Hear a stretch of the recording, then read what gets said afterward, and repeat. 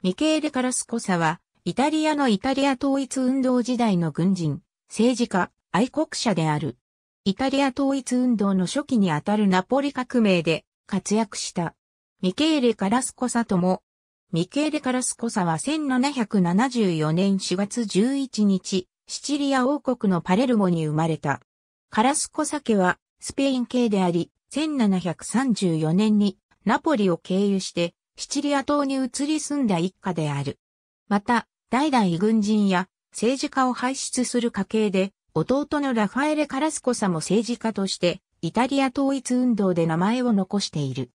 軍隊に入隊後は、騎兵注意となって、1796年には、オーストリア帝国側に立ちロディの戦いに参戦、負傷している。これ以降は、フランスや革命勢力に組みするようになり、パルテノペア共和国に参加して、騎兵少佐の地位を得た。しかし、パルテノペア共和国は崩壊しブルボンテが復古すると、カラスコサは、裏切りの罪で逮捕され数年間投獄された後、復活したナポリ王国から追放された。1806年には、ナポリ王国に舞い戻り、ナポレオン・ボナパルトに組みして第一連隊の大隊長を務めた。1808年には自身のルーツであるスペインの半島戦争に参戦して一時捕虜となるが、ドメニコピノによって救出される。1813年1月ジョアシャンミュラの地政下では、男爵に除任され、1815年にはオーストリアナポリ戦争にも参戦した。その戦争では、カラスコサは一時軍の最高司令官となって、モデナ、レッジオエミリア、カルピの占領に成功するなど武勲を挙げたが、ピエトロ・コレッタを通じて、ナポリ王国のオーストリア帝国に対する降伏条約、カザランカ条約に署名、戦争終結に貢献した。その後ウィーン体制が成立すると、降伏条約締結の功績が認められ、ナポリに泊まることができ地位も維持、革命闘争とは一時的に距離を置いた。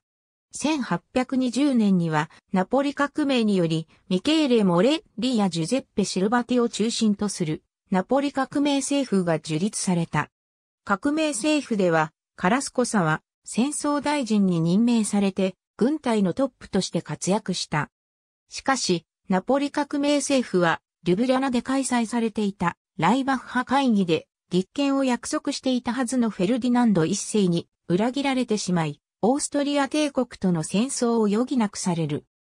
そしてイタリア統一運動最初の大規模戦闘となるリエーティアントロドーコの戦いで、カラスコサはグリエルモ・ペペと共に4万人の志願兵や両シチリア王国軍を率いてオーストリア帝国軍に対抗したが、劣勢に立たされたことで自らは戦闘に直接参加していないにもかかわらず、比較的早期に降伏。これが戦闘終結に結びついた。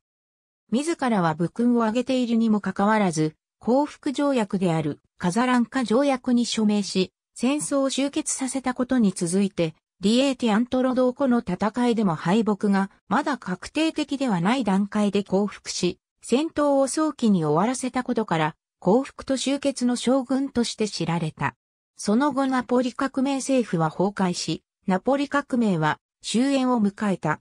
ナポリ革命後、カラスコサは、マルタ、ついで、イギリスに亡命した。1823年には、立憲主義者と戦わなかった罪、ナポリ革命に加担した罪で、欠席裁判で死刑判決を受けた。